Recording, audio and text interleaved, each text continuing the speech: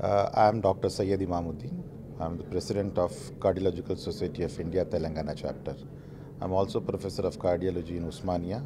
I, I run my own organization called Heartbeat in Masabtank, which is a trademark registered clinic. Today we have gathered here to celebrate this World Heart Day. We have been giving lot of lectures, lot of counseling programs here and there. Today I request all the general public to take care of their heart, take care of their family's heart, take care of every heart around their surroundings. They, you can only do that when you are serious about your heart. So the slogan for the World Heart Day 2018 is My Heart and Your Heart. This was given to us by WHO. And today we have done a health walk organized by our through our society as well as on individual basis from Dr. Mukherjee at Kukatpalli. That was a very uh, successful program. About 300 people took part in the health walk.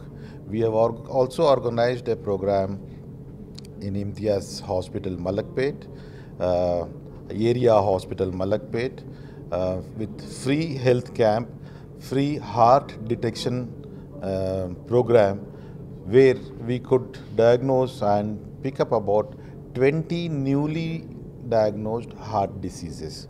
Since morning till now, we have we already have diagnosed 20 new patients who are not who never had any heart cardiac problem earlier.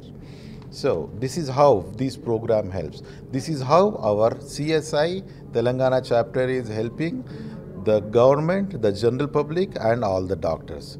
Everybody is ready to give service provided the people should be ready to accept it. So I request all the general public take a promise today to keep some activity, some exercise, some form of yoga to keep yourself fit and active. Control your diet habits. Don't take a lot of junk and oily and fried foods. Avoid non non vegetarian food as much possible. Take more of white meat, maybe two times a day or three times a day in a limited quantity. The best thing we can do is stop eating rice. The white rice, the white sugar, they are two dangerous things for us.